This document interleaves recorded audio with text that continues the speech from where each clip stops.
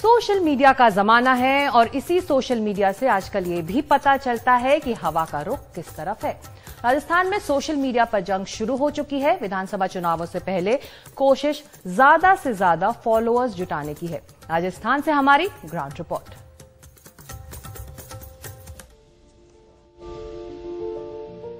राजस्थान का सियासी दंगल शुरू हो गया है। ज़मीन के साथ साथ कांग्रेस और बीजेपी ये चुनाव सोशल मीडिया पर भी लड़ रही है। कांग्रेस अपनी योजनाओं का आक्रामक प्रचार करने में जुटी है। अब वो इनाम बांटकर जनता के बीच माहौल बनाने की कोशिश कर रही है। गहलोत सरकार ने जन सम्मान वीडियो प्रतियोगिता शुरू की है जिसके ज़रिए हर दिन दो लाख पिछहत्तर हज़ार रूपए का नकद पुरस्कार दिया जा रहा है। इसके लिए मुख्यमंत्री अशोक गहलोत ने जन सम्मान जय राजस्थान नाम का एक गीत भी ट्वीट कर शेयर किया है। इसका मकसद ये है इस योजना का इसके बाद हम चाहते हैं कि हमारी स्कीम जो है उसका लाभ हर गरीब तक पहुँचे। हम जनता की जेब बचा रहे हैं जनता की मदद कर रहे हैं उसकी एक ही संकल्प है हमारा। भूखा किसी को सोने नहीं देंगे भूख से किसी को मरने नहीं देंगे। इलाज के अभाव में किसी की मौत नहीं होगी।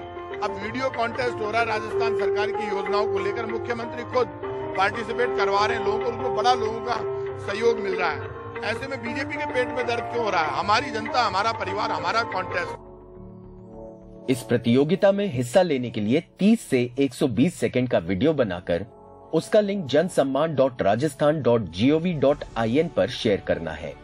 जन सम्मान वीडियो प्रतियोगिता में पहला पुरस्कार जीतने वाले को एक लाख रुपए का इनाम मिलेगा।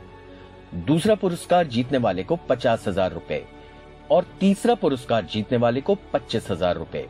सौ और विजेताओं को एक एक हज़ार रूपए का इनाम भी दिया जाएगा। मजबूर है सरकार।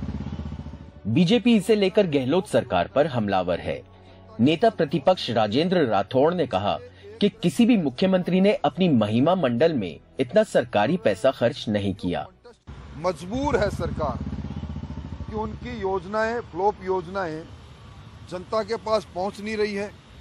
इसलिए एक तरह से सरकारी धन से पैसा बांट रही है और वीडियो कॉन्टेस्ट करा के और अपनी उन योजनाओं को, जिन योजनाओं को लोगों ने सिरे से नकार रखा है, जिन योजना का प्रभाव नहीं है, उनको मुख्यमंत्री जी अब कंटेस्ट में लेकर आए हैं, वीडियो कंटेस्ट में लेकर आए हैं।